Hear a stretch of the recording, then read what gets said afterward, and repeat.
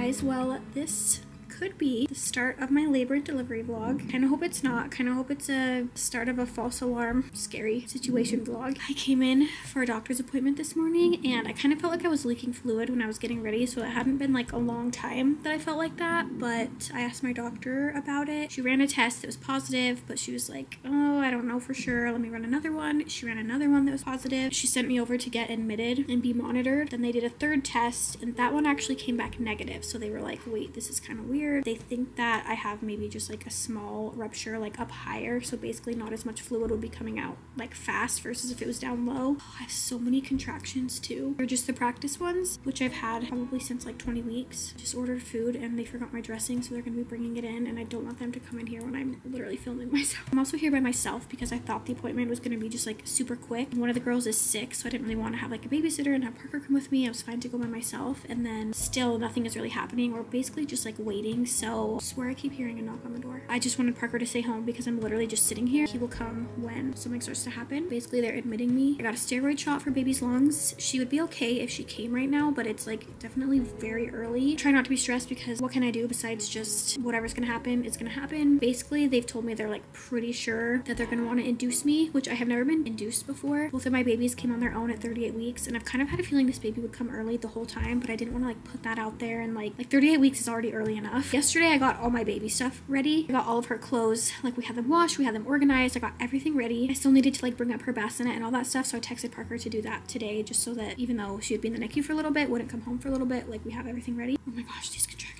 I did not have my hospital bag packed, so I FaceTime Parker and he packed it for me and then Lauren brought it because I actually had the car seats with me because I was thinking that I would just go to my appointment and then go home. So she took the car seats back to him in case he needs to take the girls anywhere. So anyways, there's not too much of an update for now. Basically, we're just waiting. The doctor thinks that the best thing we can do is just kind of give it more time to see like if more fluid is coming out or if I go into labor. I also do feel kind of like labory. I haven't had like actual contractions, I don't think. Honestly, I don't remember what they feel like. It's super weird because you would think that like, especially having done this before, I would know what it feels like to have a contraction. And I'm sure that once it happens, I'll be like, oh yeah, I remember now. But this moment, I'm like, I don't know. I don't know what that feels like. I don't remember. Anyways, these practice ones are a little bit different. Your belly basically just gets like really tight. So they are monitoring me. My thing's still not on the screen or I'll show you guys. But getting monitored, eating some dinner, got a little salad and it's warm, but by the time my dressing gets up here, it might not be anymore. So got some grapes. We are just hanging out until something happens.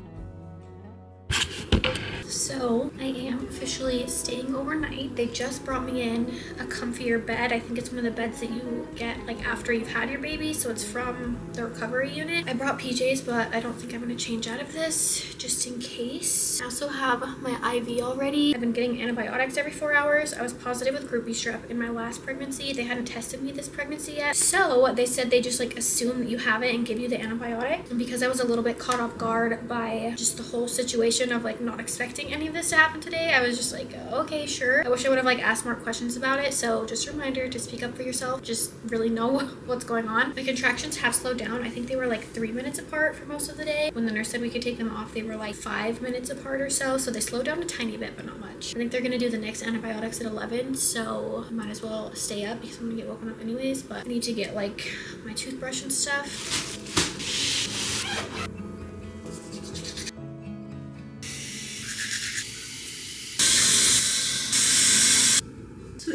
The next morning now. I don't really have too much of an update yet, but the nurse just came in and said they're gonna get me hooked up to the monitors again. I wasn't on the monitors all night. It was really nice because I could sleep better. The doctor is gonna come and do another ultrasound basically to check my fluid level. I don't feel like I'm leaking and I haven't for the past like little while since like last night and throughout the night and this morning. But if it's a small leak, it's like hard to tell. What I'm really hoping for is to be able to be sent home. If it was safe for me to go home and just like wait and see what happens and try and make it as far as I can, obviously that is what I would prefer just freshening up a little. They're about to get me hooked up to the monitors again. My contractions slowed down overnight, but now I have not a crazy amount this morning, but I've definitely had some. I also had multiple doses of this antibiotic. I got it every four hours. I've been here for about 24 hours now, I think. Aspyn Ovard to room two. Can I do a side of breakfast potato? When you order something and then they repeat your order back to you, but you like were not listening and they're like, is this correct? And you're just like, I don't know. I hope so. I have my Kindle. I was on my phone literally all day yesterday because I didn't have this for a little while. So today I need to read instead. I also have some work to do. So you guys are sitting on my computer. So I'm just making myself useful.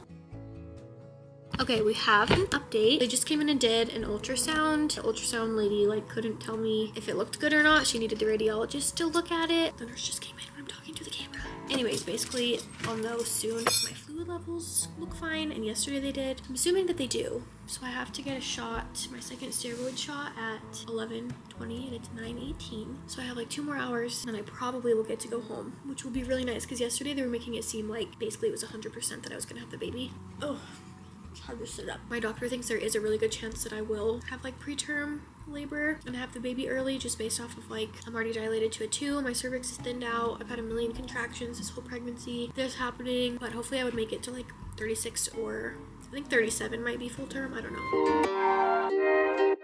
All right, so we are officially back at home. I honestly cannot believe it. Yesterday, I was like so sure that this baby was gonna have to come. They told me just keep an eye on everything. It's been a lot to process over the last day or so. I'm feeling like I need some therapy. Good thing today's video is sponsored by BetterHelp. This pregnancy has honestly been so much just with all of like the different things that have happened. I had some like bleeding in the beginning, having to have like extra ultrasounds, extra scans, all of this stuff. Just having it be like my third baby when I wasn't sure if I would ever have a third baby. It has been so much. And then to have like complications and things like this is just a lot to process. So therapy is always something that can help you with things like that and just kind of figuring out how to navigate things. So something I love about BetterHelp is that everything is all online. It's also very easy and quick to get started with BetterHelp. They will connect you with a licensed therapist who is trained to listen and give you helpful, unbiased advice. So if you go on their website, in most cases, you will be matched with somebody after like 48 hours after you filled out their little questionnaire. And you can do everything from your computer, your phone, you can do a video chat, you can do a call, you can do messaging. They can help you get connected with someone who has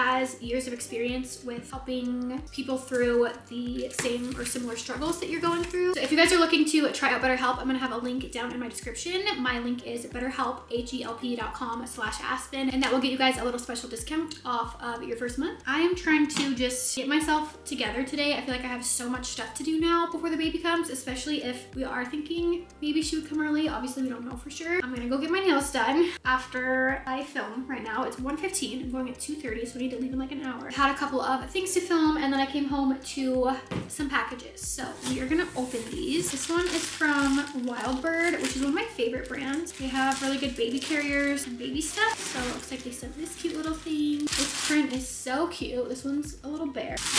Oh, this is a pillow cover. That's cute. I also sent some PJs. These are their Cloud Blend footie jammies. I've been wanting to actually order some of these. And I got all of my baby stuff organized and I feel like I have enough clothes, but I also feel like I don't have very many. So some new PJs will be perfect. This is also a sleep sack with a really cute print on it.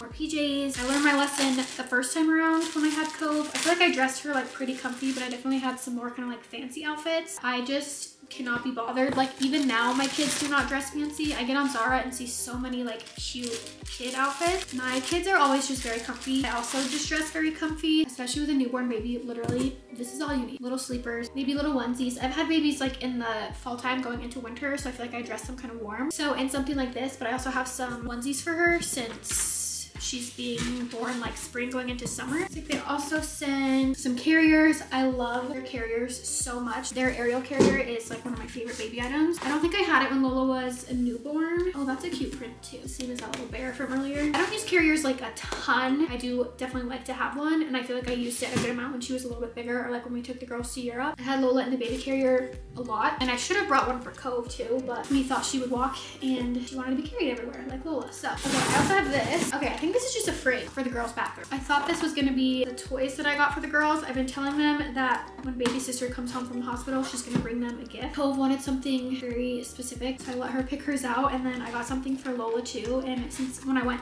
to the hospital yesterday, I hurried and ordered them on Amazon, and luckily they were both overnight delivery because I was thinking that I was gonna have a baby today. That's not what was in this box. I told Parker to hurry and get the package and hide it because the girls like to check the door to see if there's any packages. So I was like, don't let them see that one because I don't want them to open it. This is just a wood frame that's gonna go in their bathroom once I get the art. Ooh, what else? Got some diapers got some goodies from Benefit. I actually do not get very much PR anymore. I used to get so much. Like we would literally just get boxes and boxes and boxes every day. It's been a couple years now that I was like, hey, we need to actually stop doing that. It was so much stuff that I never could have like used it up myself. And I did lots of giveaways and stuff like that. So I still do those sometimes. Or the other day, a girl messaged me and she was like, hey, I'm getting married soon. I'm having a bachelorette party. I was wondering if you have any like extra PR that you would want to give to people. And I was like, oh, that is such a cute idea. Yes, I do. So I sent her a package and then I started seeing, I think that's like a trend now because I started getting a couple more messages like that. And then I started seeing a couple people like posting TikToks about it, but I haven't seen enough things about it to know if it's a trend or not. Either way, I was happy to send this girl a package because I had a ton of makeup just like sitting around. So I do still get like some PR, but now most of the time brands will like ask me before they're gonna send something and I'll say yes or no, which is much nicer. This is another package from Wild or Wild Bird. Ooh, knotted gowns. These are the best for babies actually. Like when you have a little newborn, it's so easy to change their diaper at night. Another one.